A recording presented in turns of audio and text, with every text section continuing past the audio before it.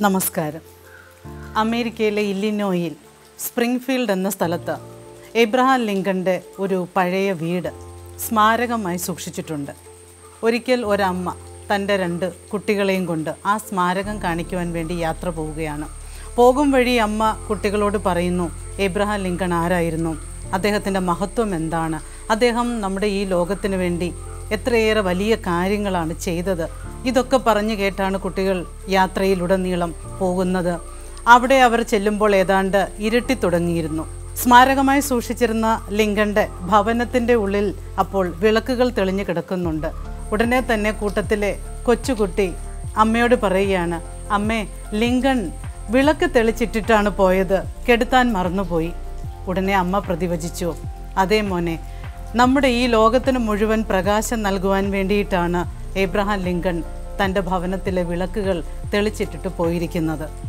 പ്രിയമുള്ളവരെ അറിയപ്പെടുന്നവരും അറിയപ്പെടാത്തവരുമായ എത്രയോ ആളുകൾ നമ്മുടെ ജീവിതത്തിൽ പ്രകാശം ചൊരിഞ്ഞിട്ടുണ്ട്. മഹാത്മാഗാന്ധിയോ മദർ തെരേസയോ പോലെയുള്ള പ്രശസ്തർ മുതൽ ഏറ്റവും എളിയവരായ നമ്മുടെ മാതാപിതാക്കളും അധ്യാപകരും വരെ എത്രയോ പേർ നമ്മുടെ ജീവിതത്തിലേക്ക് പ്രകാശം ചൊരിഞ്ഞിട്ടുണ്ട്. അവരോടൊക്കെ നമുക്ക് നന്ദി ഉണ്ടായിരിക്കുകയും വേണം. അതോടൊപ്പം നാം ചിന്തിക്കേണ്ട മറ്റൊരു കാര്യം കൂടിയുണ്ട്. നമ്മുടെ ജീവിതം മറ്റുള്ളവർക്ക് പ്രകാശം പരത്താൻ യോഗ്യമാകുന്നുണ്ടോ?